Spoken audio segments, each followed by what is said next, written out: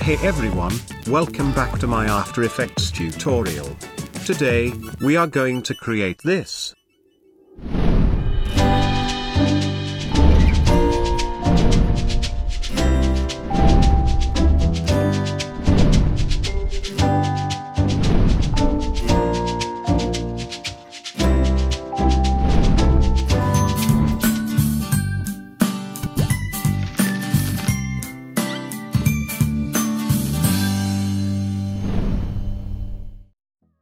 Special thank you to our partner, AE Juice. Check out their Liquid Elements pack. Over a thousand frame by frame animations for your projects. It comes with a handy pack manager plugin.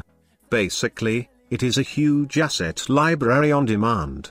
Press a shortcut to open the plugin, drag and drop and you're done. This is one of those investments that last your lifetime. The links are in the description. All links are affiliated. So if you purchase something from AEJuice, we will get a commission. It will help us to produce more tutorials, and sustain our community. Thank you for supporting us. So, let's get started, open After Effects and create a new composition. Let's call it Circle. As always, I am using the 1920 by 1080 resolution. At 60 frames per second. To make the animation smoother. My duration is 5 seconds.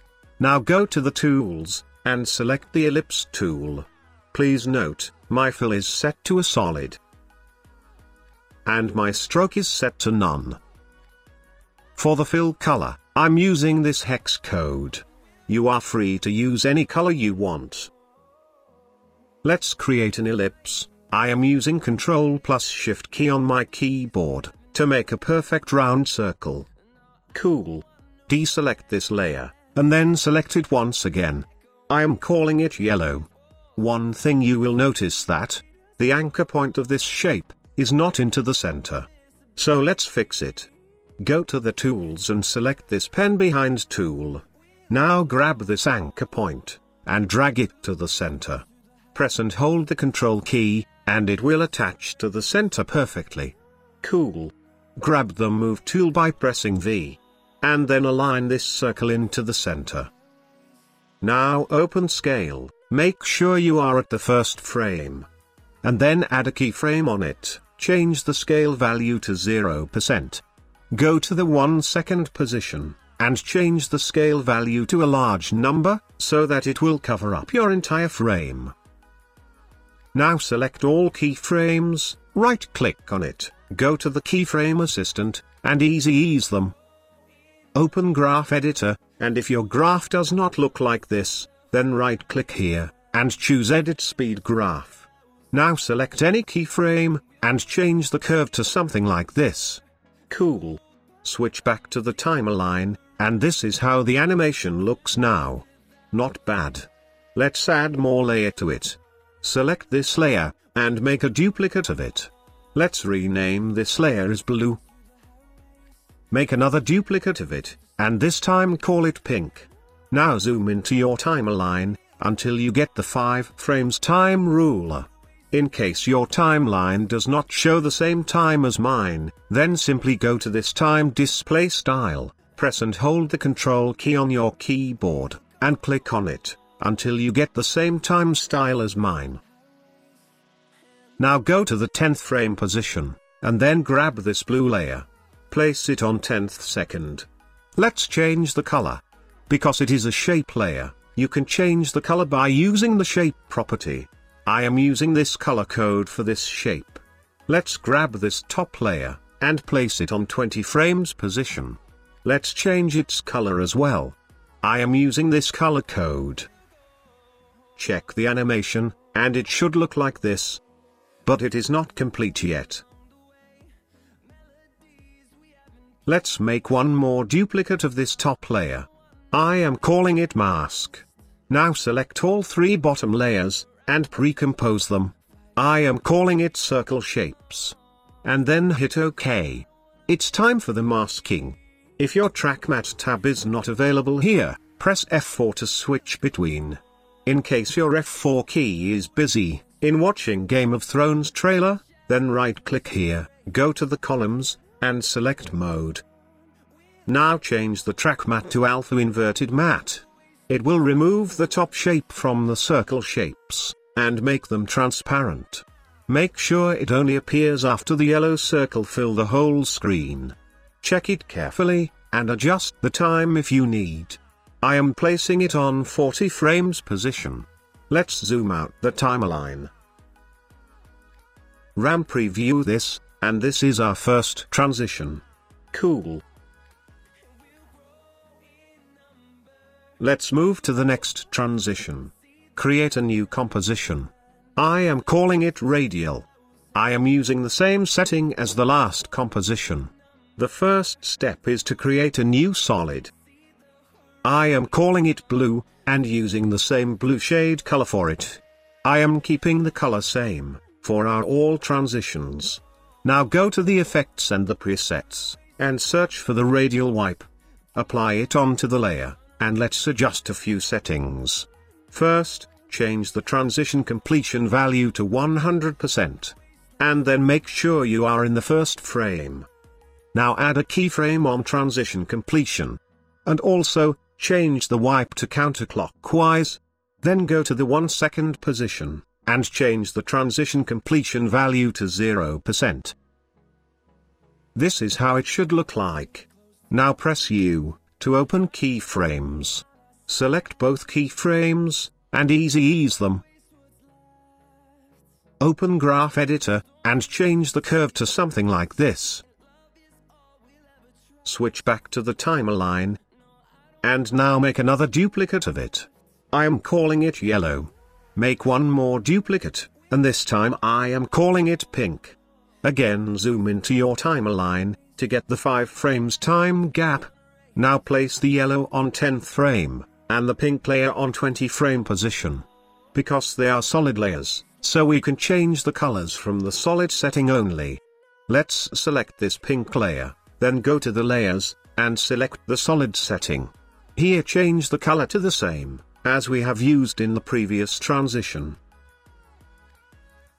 I am doing it for both layers.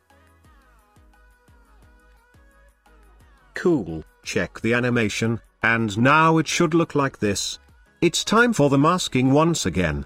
Select the pink layer, and make a duplicate of it.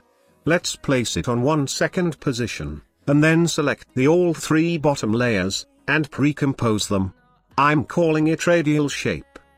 Now change the track matte to alpha inverted matte. Zoom out the timeline, and RAM preview this. Cool, this looks good to me.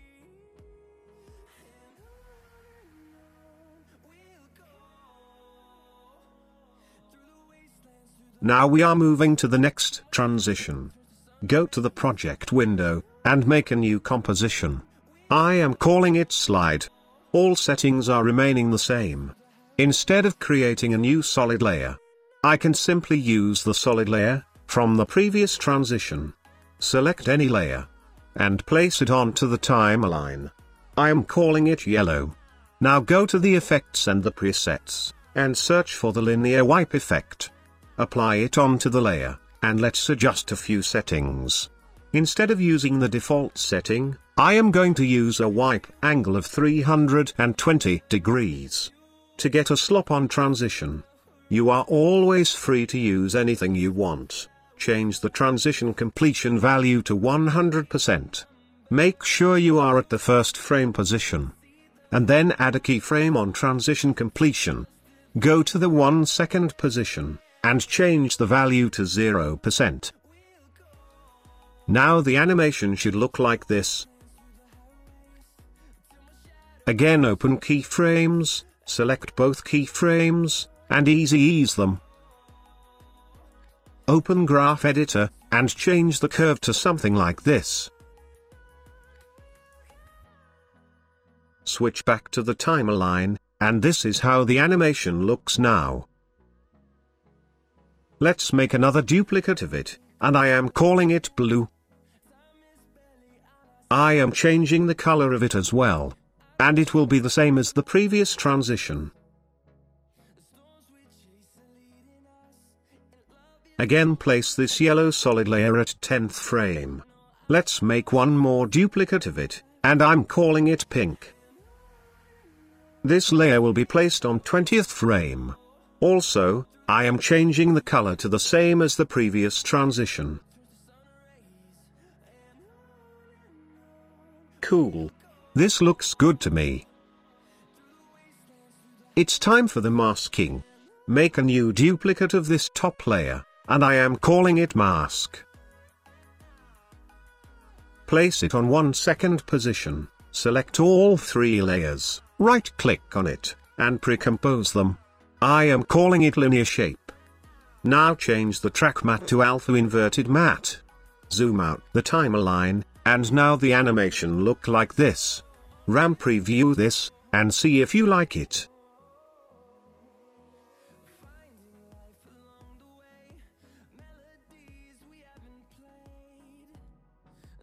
You can create two more transitions, just by changing the wipe angle of each layers. Let's change it 0 degrees. I am changing the value for each layer. Make sure to change the wipe angle on mask layer as well. RAM preview this, and you can use it as the fourth transition. For the fifth transition, you can use a different angle. Let's keep it 90 degrees for all layers.